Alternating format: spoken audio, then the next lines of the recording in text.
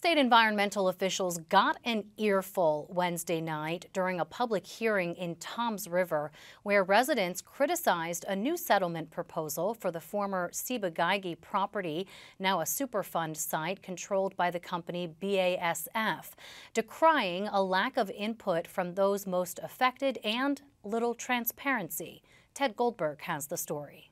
How do you account for all the people who died as a result of the cancers that they you know, contracted from what went on here to even consider letting people come onto this property is absolutely insane. People in Toms River are skeptical, to say the least, about a proposed settlement between New Jersey and BASF, the company that owns the Ciba-Geigy Superfund site. The infamous chemical plant polluted groundwater for decades, resulting in a $13 million settlement for families affected by cancer. I also come here today as a niece of a Ciba-Geigy employee who died a few months ago. He had a very rare form of kidney cancer. He ended up with lung cancer. My uncle used to come home, and in the summer, he would sweat the color of the dye that he was working with every day. And his kids would joke about it. This settlement proposal addresses damage to the environment. BASF would pay $100,000 and most of the Ciba-Geigy site would become an open space after cleanup. The state has claimed that not all of the land is contaminated. Last night, people in Toms River told the DEP that they don't think the proposal goes far enough and they don't fully believe the DEP. How do we know it's safe? We, we don't know because none of that information has been brought forward and has uh, been, uh, been transparent. The first 11 years of my professional life, I actually worked for one of the largest chemical companies in the world, Bayer.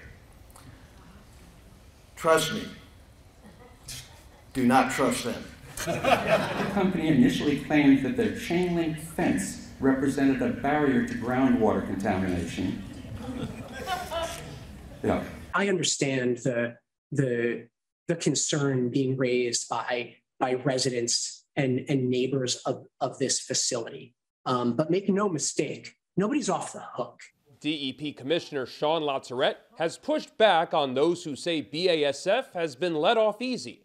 LaTourette says that BASF's commitment to cleaning toxic groundwater and the $100,000 payment are part of ensuring accountability. The first part took place years ago when the DEP took action to hold Ciba-Geigy accountable, paying well over $300 million over the course of many years to ensure the cleanup. LaTourette acknowledges that the settlement was drafted in secret as part of a process that avoided a lawsuit against BASF.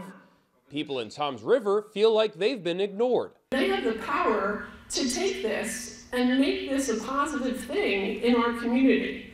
Uh, but we can't do that without all of us having a voice. Are you treating these complaints with transparency and are you treating them with empathy? Once we are in a position to show the community the real benefit of these projects, that we will begin to sow a greater appreciation of what natural resource restoration uh, can provide for the public that we serve. LaTourette says this proposal would save taxpayers money, adding that a lawsuit against BASF could take a decade. In Toms River, I'm Ted Goldberg, NJ Spotlight News.